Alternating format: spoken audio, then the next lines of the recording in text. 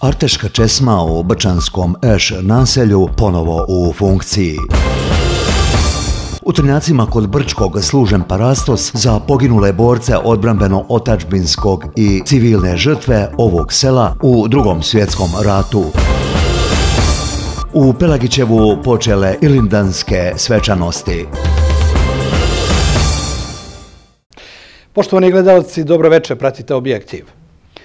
Eš naselje u Brčkom na istočnom ulazu u gradsko jezgro, smješteno sa lijeve strane, opterećeno je brojnim komunalnim problemima. No čini se da rukovodstvo ove mjesne zajednice čini velike napore da se oni riješe na zadovoljstvo svih njegovih stanovnika. Vijest dana iz ovog naselja je da ponovo radi arteška česma iz koje se građani snabdjevaju pitkom vodom sa dubine veće od stotinu metara. Arteška česma u Eš naselju sa koje najviše brčaka koristi vodu za piće ponovo je stavljena u funkciju nakon što je već neko vrijeme bila u kvaru. Predsjednik mjesne zajednice Bijeljinska cesta Žiko Novaković podsjeća da je Česma nakon više mjesečnog većeg kvara proradila 13. aprila, ali poslije svega par mjeseci ponovo se našla u kvaru i to neslučajno. Problem je u djeci iz prve osnovne škole koja kad završe završne razrede dođu u Eš svake godine tradicionalno i pršću se vodom tu pune flaše, ganjaju se i polome česmu. Ovaj put su išli korak dalje pa su obili vrata od eh, one kućice gdje su postrojenja za prečišćavanje i zavrnuli su vodu. Tako da u prvi mah nismo ni znali šta je problem dok nismo pokušali ući unutra, onda smo vidjeli da su vrata odvaljena i tako da evo sad smo ponovo to doveli u red. Novaković poziva roditelje da utiču na djecu ili da preuzmu odgovornost za posljedice koje prouzrokuju svojim nestašukom. On podsjeća da bi nedavnom odlukom Skupštine distrikta brigu o Česmi trebalo da preuzme javno preduzeće Komunalno Brčko, u čijoj nadležnosti će biti i sve buduće intervencije. Osim ovog problema, Novaković kaže da rukovodstvo mjesne zajednice već duže vrijeme od nadležnih traži postavljanje ležećeg policajca u ulici Braće Ribnikar pored prostorija mjesne zajednice gdje vozači brzo voze ugrožavajući tako djecu koja odlaze i vraćaju se iz škole upravo prelazeći tu ulicu. Ležeći policajac je postojao dok nije renovirana ta ulica i onda je skinut. Sada postavljene su dvije male vibracione trake uske koje uopšte ne usporavaju saobraćaj od nesavjesnih vozača koji velikom brzinom dolazi na tu raskrsnicu. Škripe kočnice kad djeca idu u školu, tu možete uvijek stati i vidjeti, jer djeca su, znate kako, neobuzdana i ganjaju se, trču, tako da vozači moraju imati veliki oprez kad dolazi na tu raskrsnicu. Iako je izlaz iz naselja na bulevar, godinama bio usko grlo, skoro puštanje u pogon kružne raskrsnice, dodatno će omogućiti još veću brzinu kretanja vozila, što će samo pojačati opasnost za učenike. Prema riječima Novakovića, građani iz ove mjesne zajednice negoduju i što je u ulici Marina Držića prema prvoj osnovnoj školi promijenjena parking zona iz plave u crvenu, što smatra najdrskim zavlačenjem ruku javnog preduzeća putevi u njihove džepove. Nije to mnogo, to su dvije zgrade, ali dvije zgrade imaju po 50 stanova, tako da E, pravi problem i dnevnog parkinga i e, godišnjeg parkinga, parking karti. I udar je na džep tih stanara, jer vidite, kriza je sve poskupljuje, tako da nije neosjetno to što se dogodilo. I dok mnoga naselja u gradu izražavaju nezadovoljstvo prema službama za čišćenje grada, jer se javne površine ne čiste redovno, ovdje u Ešu smatraju da nema razloga za to i ti seljaci prodaju svoje proizvode i ako ne dođu komunalci ne počiste, bilo bi stvarno problematično. Međutim, svako jutro ja ih lično vidim i mogu da garantujem da radi svoj posao kako treba, bar taj dio. Ulaz u ovo naselje sa bulevara bio bi mogući i pored industrijskog željezničkog kolosijeka, ali s obzirom da ovdje nisu riješeni imovinsko-pravni odnosi, vozači putničkim automobilima mogu ući samo preko makadamske površine, koja je najveći dio godine pod rupama. Parastos za poginule borce Vojske Republike Srpske u Trnjacima kod Brčkog okupio je brojne mještane, goste, predstavnike udruženja proisteklih iz odbranbeno-otačbinskog rata, zvaničnike aktuelne vlasti i srpskih političkih stranaka. I ovoga puta ukazano je na značaj e, njegovanja kulture sjećanja na one koji su dali živote za očuvanje samobitnosti srpskog naroda.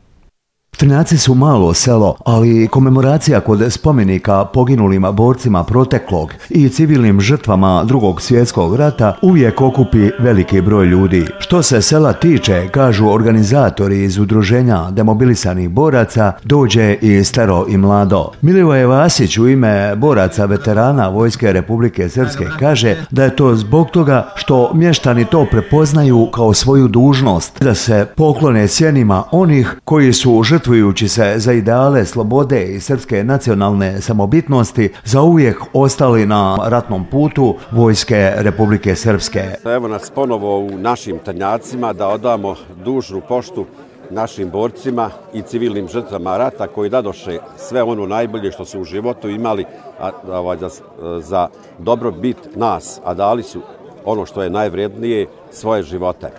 Na nama je da idemo i nastavimo putem kojim su se oni borili, a na vlastima je da porodice poginulih boraca ovaj, na neki način više zbrinu, da, da, da pomognu u njihovoj egzistenciji više nego što je to do sada bilo.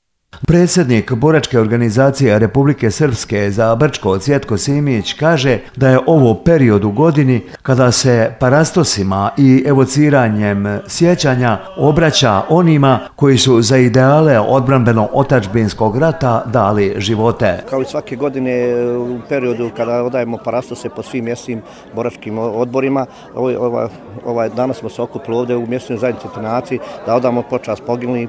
Nažalost, njih sedam je ugradilo svoje živote u stvaranje Republike Srpske i položili su svoje živote u temelj Republike Srpske.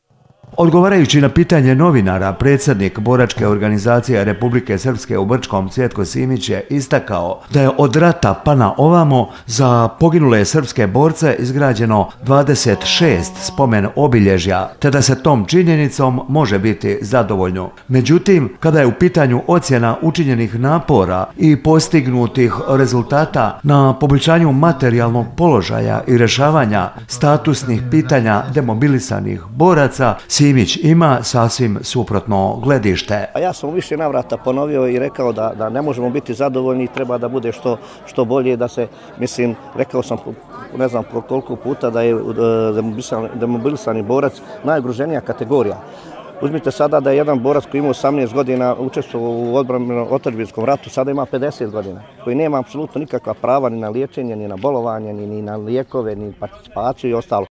Dužnost nam je naglašava Siniša Milić, predsjednik Skupštine Brčkog distrikta, da molitvenim pomenom svugdje tamo gdje postoje spomen obilježja za poginule borce, odamo dužnu poštu i prisjetimo se žrtve koju su oni dali za slobodu i čast srpskog naroda. Njegovati kulturu sjećanja je naravno važno, naročito u trenucima evo kada se najavljuje i nekako revidiranje istorije i pisanje nekakvih novih učbenika jedini efikasan način da se tome odupremo jeste upravo da njegujemo sjećanja, mi znamo šta se dešavalo, istorija nije tu da sudi, već da kaže kako je bilo. Dakle, i mi na ovaj način čuvamo uspomenu na naše pretke, ali i čuvamo istinu za naše potomke. Vijence i cvijeće na spomen obilježje u Trnjacima položili su predstavnici organizacija proisteklih iz odbranbeno otačbinskog rata, srpski zvaničnici aktuelne vlasti u Brčkom, te porodice i drugi poštovaoci. Po završetku komemoracije za sve prisutne priređen je podušni ručak. Opštinsko udruženje penzionera u Šamcu radi u skladu sa strategijom za poboljšanje položaja penzionera koju su donijeli prije četiri godine. U tome im značajno pomaže grant koji dobijaju iz opštinskog budžeta, ali i to što ih lokalna zajednica uključuje u brojne razne projekte koji realizuju sa ostalim nevladinim organizacijama. Strategija za poboljšanje položaja penzionera opštine Šamac donesena je za period od 2018. do 2028. godine, a više puta godišnje ona je na dnevnom redu organa udruženja penzionera kako bi se utvrdilo da li se dosadno poštuje i da li je treba revidirati. Njom su pored ostalog predviđeni načini podrške penzionerima sa najnižim penzijama, a o kojim nema ko da brine. Prije svega e, pomoć, novčana pomoć penzionerima, ona je uvijek pod brojem jedan na svim našim sjednicama, a ta tako je planirano i, i strategijom, a na osnovu strategije urađene su i ostali dokumenti udruženja plan rada, finansijski plan rada e, i tako dalje. Tim dokumentom e, mi smo obuhvatili, obuhvatili e, penzionere sa slabim primanjima, sa, sa, sa zdravstvenim stanjem koje je slabije i tako dalje, pa smo čak strategijom predvidjeli i prevoz penzionera, bolesnih, eh, do eh, specialističkog pregleda, odnosno u banju luku, doboj i tako dalje, ili za odlazak u bolnicu. Skoro 70.000 konvertibilnih maraka godišnje udruženje obezbiti iz članarine, a 13.000 konvertibilnih maraka ove godine će dobiti iz opštinske kase. Dio tog novca namjenjen je za usluge koje pruža Centar za njegov pomoć u kući, što je dio projekta koji lokalna zajednica finansira zajedno sa Crvenim krstom Švajcarske. Dato je dosta sredstava u ovih šest mjeseci, opet po strategiji i po pravilnicima, za jednokratne novčane pomoći. One kod nas iznose 90 i 120 maraka.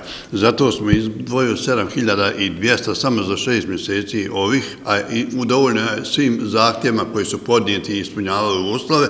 Zatim e, smo e, Zatim smo, e, kad su u pitanju sahrane, e, nedostajanje sredstava i to je prvo što ćemo morati povećati iznose pomoći porodicama za sahrane, njih je u, ovom, u, ovom, u ovih šest mjeseci bilo 55. Briga o zdravlju jeste najbitnija u životu penzionera, pa udruženje u saradnji sa Domom zdravlja organizuje savjetovanje i neke preventivne preglede.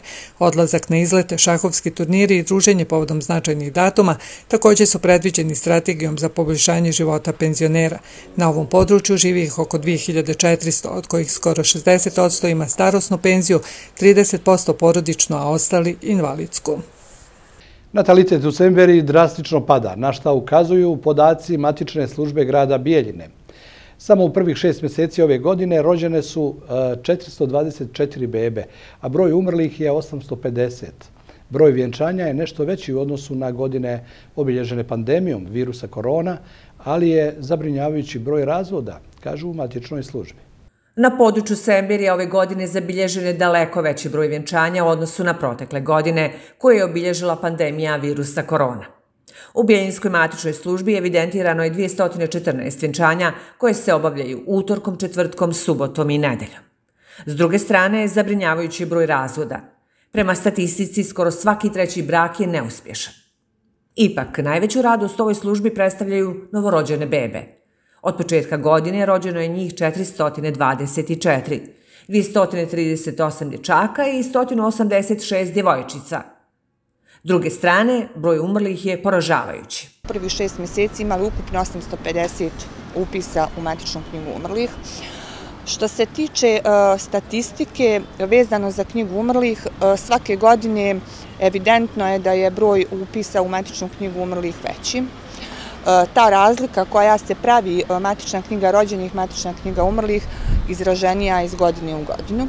U matičnoj službi zabilježen je veliki broj prepisa djece. To su mališani koji su rođeni u inostranstvu, koji se upisuju u matičnu knjigu grada Bijeljene, kako bi mogli dobiti državljanstvo roditelja, a nakon toga i putnu ispravu. U ovoj službi kažu da je takvih slučajeva iz godine u godinu sve više, što ukazuje na odlazak mladih sa naših prostora. E, procedura je komplikovana e, zato što najčešće roditelji sa malom bebom ne mogu da putuju. Eh, onda moraju nekome da pošalju od svojih bliskih ili srodnika ili prijatelja puna moć da to završe. Moraju da pošalju originalan rodni list iz inostranstva za dijete koji se najčešće ovdje mora prevoditi ili mora imati apostil na dovjeru. Eh, ljudima je to malo teže da razumiju. Eh, inače su ovaj, naše procedure ponekad i komplikovane. Bijeljinska matična služba ima šalter salu i tri službenika koji rade sa strankama. Osim toga raspolaže sa tri kancelarije u kojima se vrše razni upisi. Ova služba ima i 14 mjesnih kancelarija u Sembiriji gdje se mogu obaviti upisi, izvaditi i ovjeriti dokumenta kako sugrađani ne bi morali dolaziti u grad na kojima naši sugrađani mogu da preuzmu svoje izvode iz matičnih knjiga i uvjerenja. E, također, e, organizovani smo u e, tri kancelarije u okviru matične službe grada Bijeljna u kojoj se vrše upisi u matičnu knjigu rođenih, umrlih i u matičnu e, knjigu vjenčanih. E, također, na teritoriji grada Bijeljina, matična služba grada Bijeljina organizovana je u 14 mjesnih kancelarija. E, naši sugrađani u svim mjesnim kancelarijama mogu da obave iste poslove kao i u gradu Bijeljina i dodatno tu mogu da ovjeri svoja dokumenta. Matična služba grada Bijeljina ima 20 matičara, šest u gradu i po jednog u svakoj od 14 mjesnih kancelarija u Sembiri. Radove službe je dobro organizovan, kako bi stanovništvu Semberije sve bilo na dohvat ruke. 2. avgust, e, sveti prorok Ilija, u Pelagićevu se obilježava kao dan opštine, a ujedno je to i krsna slava crkvene opštine. Praznik u čast e, tokom vikenda upriličan je prigodan e, kulturno-zabavni program. Ovo je tek jedna od niza manifestacija kojom će se u Pelagićevo obilježiti Ilindan.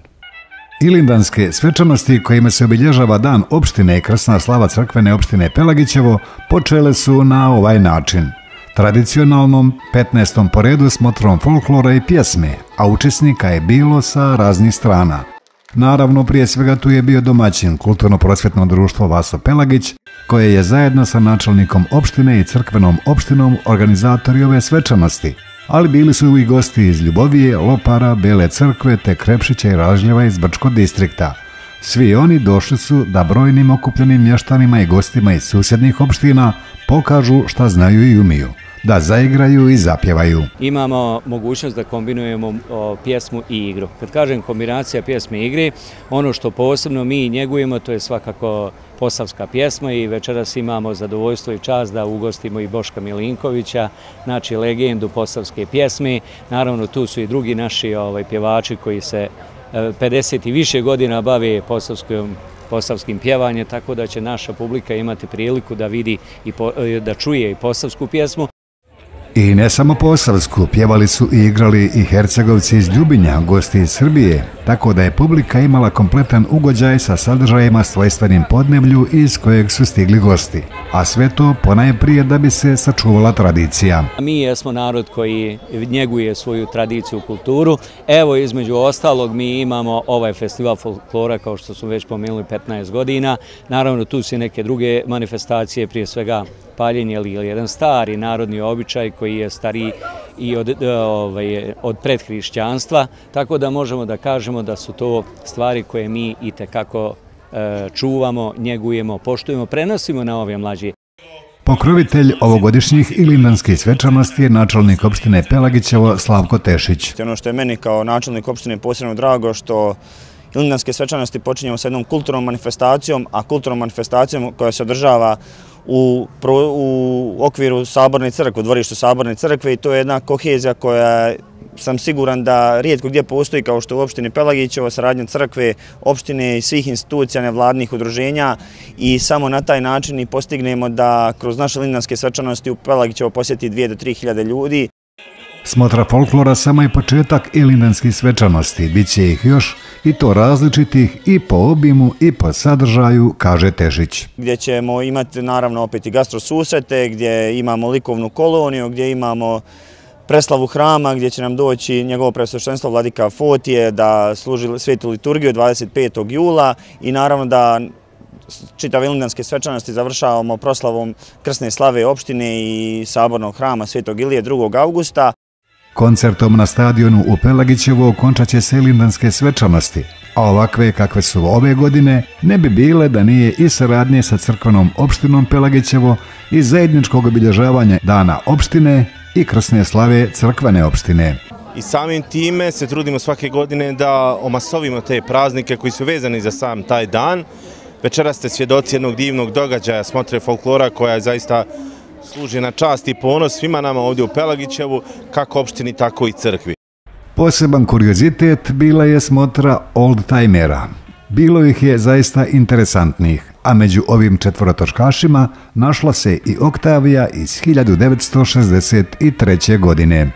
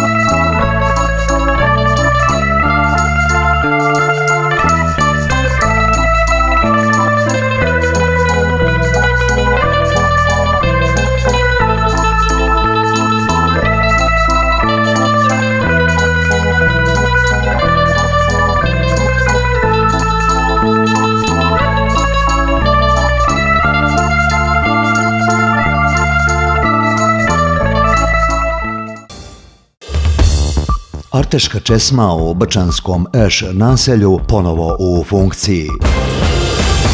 U Trnjacima kod Brčkog služen parastos za poginule borce odbranbeno-otačbinskog i civilne žrtve ovog sela u drugom svjetskom ratu. U Pelagićevu počele ilindanske svečanosti. Bila bi to, poštovani gledalci, sve što smo pripremili za ovo izdanje objektiva. Vidimo se ponovo sutra u istom terminu. Hvala za pažnju.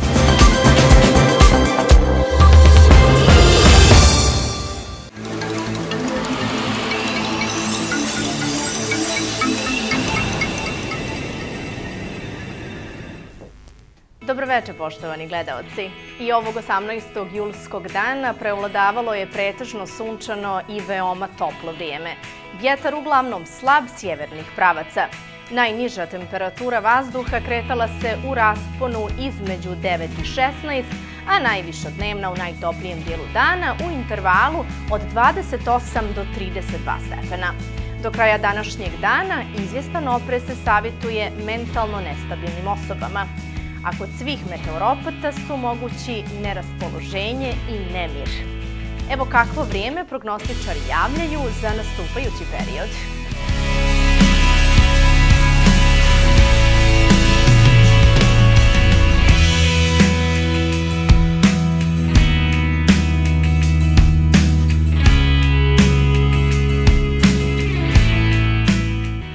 Utorak 19. julskog dana prevodavat će sunčano vrijeme uz malu do umjerenu dnevnu oblačnost. Vjetar slab, sjeverni i sjeveroistočni. Jutarnja temperatura vazduha kretat će se od 13 do 18, na jugu do 24 stepena, a najviša dnevna u najtoplijem dijelu dana u intervalu od 27 do 35. Na jugu naših predjela i do 37. podeljka Celzijusove skale. Zadržava se period sa povoljnim uticajem bioprognoze na sve hronično oboljele i osjetljive osobe. Meteoropatske reakcije se mogu javiti u slabijoj formi. I zdravima i oboljelima se savjetuje adekvatno odjevanje u skladu sa očekivanim termičkim uslovima, kao i umjerena fizička aktivnost. Toliko o vremenskim prilikama. Do narednog izvještaja o vremenu, veliki pozdrav!